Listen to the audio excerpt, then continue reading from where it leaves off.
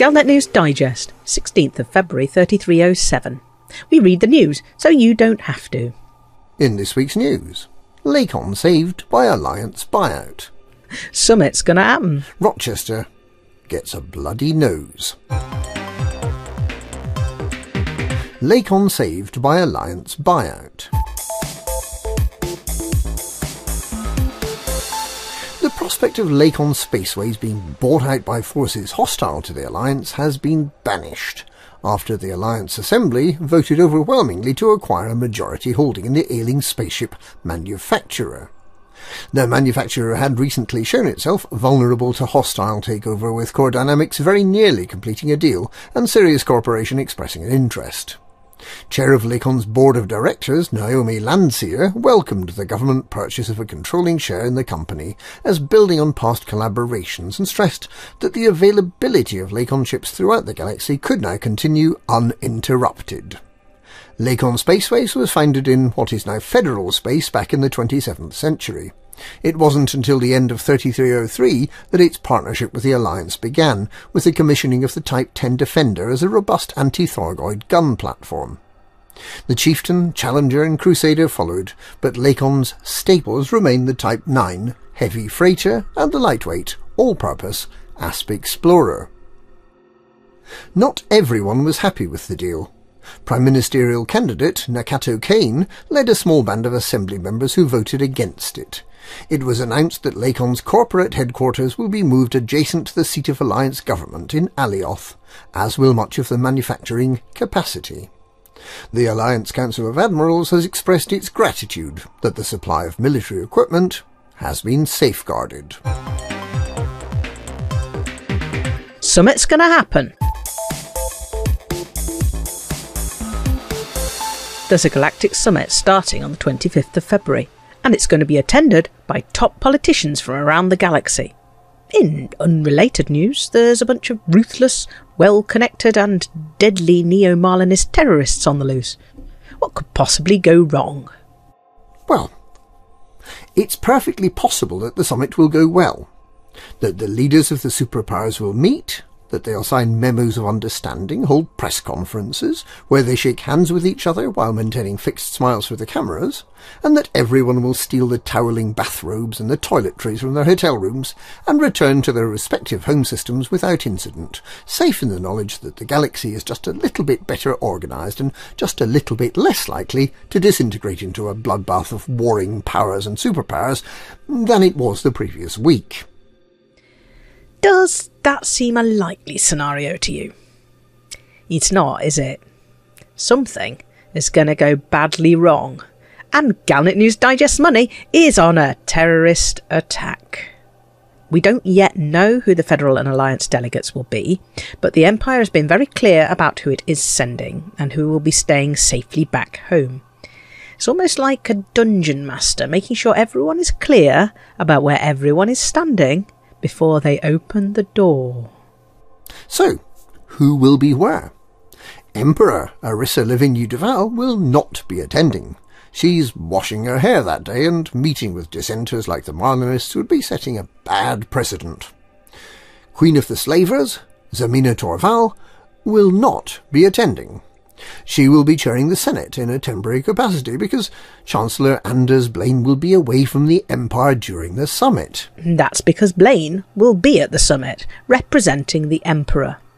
For a long time, Emperor Hengist's right hand man, Blaine was accused of disloyalty when members of his staff sided with Emperor's Dawn, the traditionalist movement that advocated the abolition of the Senate and autocratic control by an emperor that it, Emperor's Dawn, would choose. Somehow, Blaine managed to retain the trust of the present Emperor Arissa and remains Chancellor 24 years after his appointment. Senator Denton Patreus will also be at the summit.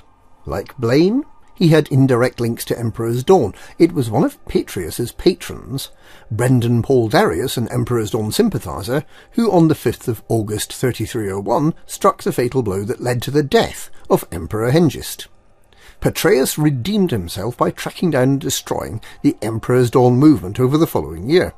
Patreus has also been the scourge of the neo-Marlinist terrorist movement, disrupting the lives of many peaceful Marlinists in the process. But ultimately, it is Patreus who must take responsibility for allowing the daring escape of the so-called Theta NMLA terrorist cell from an Imperial interrogation centre. The final Imperial delegate, other than all the bureaucrats, is Princess Aisling Duval. Once again, she was tainted by association with the Emperor's Dawn ultra traditionalist movement, and more recently, the isolationist Nova Imperium movement, the leader of which Hadrian Jansen, who now styles himself Hadrian Augustus Duval, she helped reconcile with the rest of the extended imperial Duval family. Her father, the dissolute Prince Harold, was assassinated by the Neo Marlinists last year, so it seems unlikely she has a lot of sympathy for the terrorists. Among others, this imperial delegation of Blaine Patreus and Aisling Duval will be meeting with two of the leaders of the recently settled Marlinist colonies, First Minister Jenna Fairfax and Minister Aaron White, who has recently stated that one of his objectives is not to have his own kingdom outside the Empire, but to remove the king, by which he presumably means emperor, from within the Empire. So, this meeting between Marlinists and Imperials might get a little heated. Marlinist Minister Amrita Ross will not be attending. But what about that Theta Neo Marlinist terror cell that Patreus let slip through his fingers? Unlike the Marlinists, the NMLA believes in violent means to achieve their objective.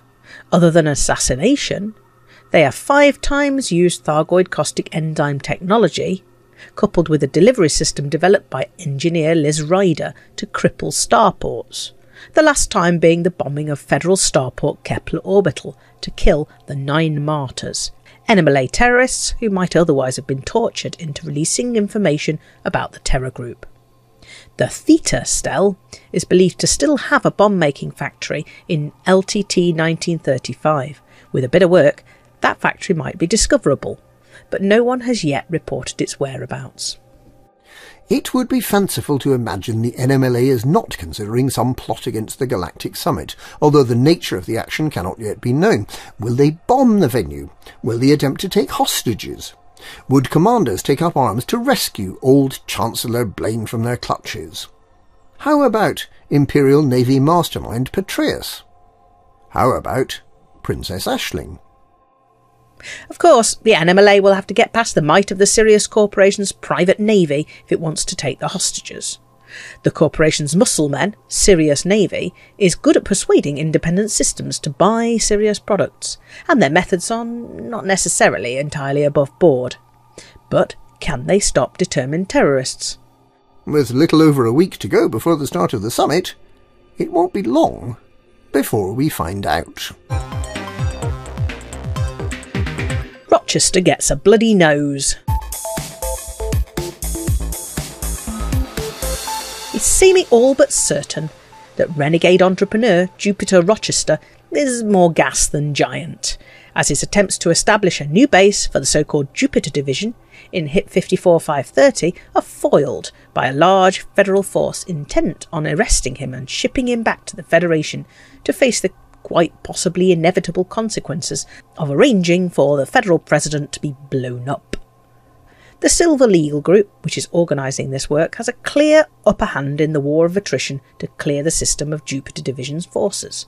So, unless Rochester can summon up a miracle, or unless he leaves the system soon, his time as a renegade fleeing from federal justice seems likely to be short lived with Zachary Hudson, who became president as a consequence of Rochester's treason, losing ground in the opinion polls, and with Rochester's family disowning him. It seems he has few friends left he can turn to. It seems that Jupiter Rochester could soon end up sharing a cell with disgraced Fleet Admiral Lucas Vincent. Unless, of course, he can persuade the NMLA to rescue him. And that's this week's Galnet News. Galnet News. We read the news so you don't have to.